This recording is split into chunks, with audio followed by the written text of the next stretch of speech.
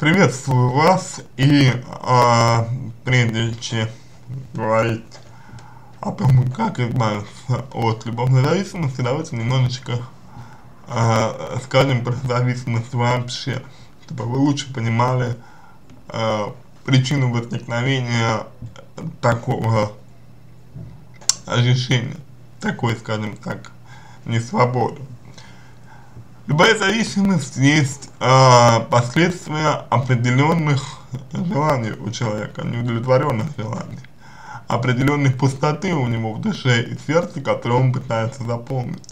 Любая зависимость это следствие э, невозможности человека реализовать свои потребности и желания так, как ему хочется. Невозможности сделать это правильным путем, естественным путем путем свободного акта волеизъявления. И человек начинает зависимость, как бы сказать, выбирая наиболее доступную форму э, удовлетворения своих желаний. И вот именно так с вами и получилось, что вы, видимо, не имея возможности быть с мужчинами, не имея возможности реализоваться как женщина, но при этом испытывая потребность любить и быть любимой, э, начали встречаться с э, женатым мужчиной. Наверное, надеясь на то, что он бросит свою жену ради вас, э, но эта надежда живет где-то глубоко внутри вас, а разумом вы, скорее всего, понимали, что нет, э, он не бросит никогда свою жену, он будет спать и с ней, и с вами, и с другими женщинами, но вам необходимо вот это вот ощущение, которое он вам дарит. То есть рядом, рядом с ним вы чувствуете себя женщиной. И, собственно, задам вам вопрос. Почему вы не можете, не могли э, вступить в отношения со свободным мужчиной? Э, почему вы, узнав, что мужчина женат, тер терпели тот факт, что он отводит вам не первое место. Ведь женщина, уважающая себя, любящая себя, ценящая себя, никогда не позволит мужчине ставить себя, не на, э, ставить ее на любое другое место, кроме первого. Но вы это сделали. Это вопрос. Почему?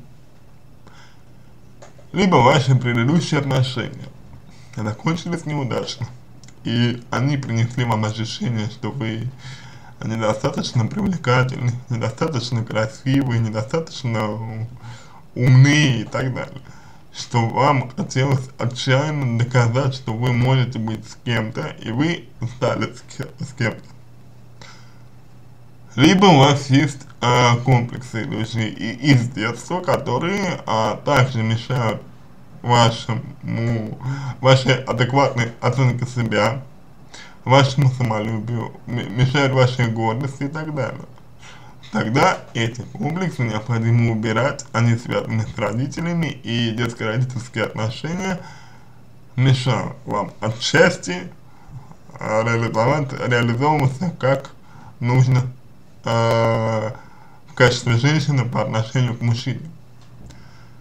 Есть и другой момент, э, корень которого в том, что вы, оказавшись в обществе, почему-то считаете, что вы хуже других. Но так или иначе, все упирается в ваше самолюбие, ваше достоинство, ваше гордость, которое необходимо развивать Необходимо любить себя, учиться любить себя. Для этого нужно осознавать свою ценность. Для этого необходимо ставить перед собой определенные жизненные задачи, цели, решать их, добиваться успеха.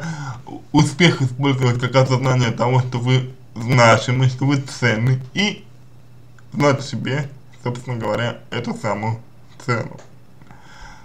Следующее, о чем о чем э, нужно сказать, это то, что с этим мужчиной, с этим мужчиной вы реализуете какие-то свои желания, какие-то свои, э, ну, скажем так, стремления. Нужно понять, какие. Потому что зависимость никогда не направлена на самого человека. То есть если кто-то любовно зависим, то человек, от которого он любовно зависим, зависим ну, нужен э, зависимому. И он думает в этот момент о себе. Человек для чего-то ему нужен. Вам нужно понять, что именно вы чувствуете, когда находитесь рядом с мужчиной. Какие желания вы удовлетворяете и понять, что это желание для вас важнее всего. Мужчина выступает лишь средством для удовлетворения, то есть если на его месте был кто-то другой, вы бы точно так же бы с ним себя вели, потому что ваши желания не удовлетворены. И это желание не связано с обычной потребностью любить. Тут что-то глубже, тут что-то более лично. Может быть это неуверенность в себе, может быть это страх перед чем-то и так далее. И вот именно это и нужно вы, выявить и с этим поработать, чтобы это устранить. И тогда от зависимости вы избавитесь. Потому что вы будете, вы будете во-первых, четко понимать, для чего вам этот человек нужен что он вам несет.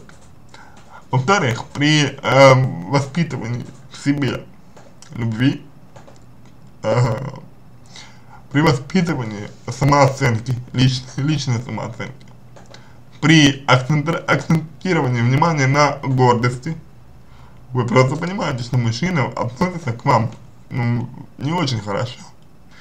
И почему вы должны позволять ему это делать? Если мужчина относится к вам плохо, значит он вас не уважает. Если не уважает, значит о каких чувствах речи быть не может. А значит чувствуете только вы. И раз чувствуете только вы, значит вы а, нуждаетесь не в самом мужчине, а в его образе. Образ – это собирательное понятие всего того, чего вы хотите.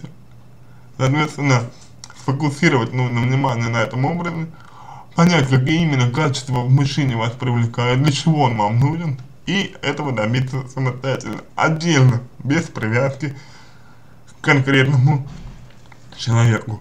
И тогда от зависимости вы избавитесь. На этом все. Надеюсь, что помог вам. Если какие-то вопросы остались, обращайтесь в личку, помогу. Если вам понравился мой ответ, сделайте его лучшим, пожалуйста. Буду вам очень благодарен. Я желаю вам удачи. Я желаю вам принятия верного решения относительно того, что вы будете делать в дальнейшем, потому что э, в идеальном варианте вам нужно выбрать эксперта на нашем ресурсе и поработать с ним приватно, чтобы избавиться от зависимости, потому что самостоятельно вам сделать будет это достаточно сложно.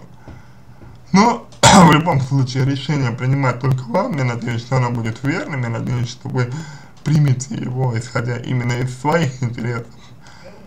И я желаю вам всего доброго.